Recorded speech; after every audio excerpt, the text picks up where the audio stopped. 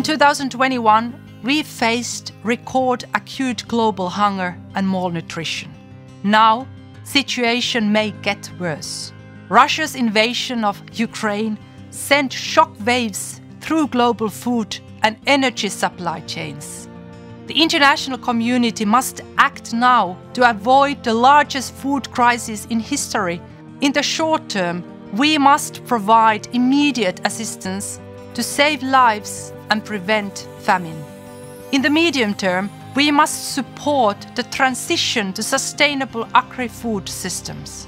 And in the longer term, we must address the drivers of food insecurity, conflict, climate change, poverty and inequality.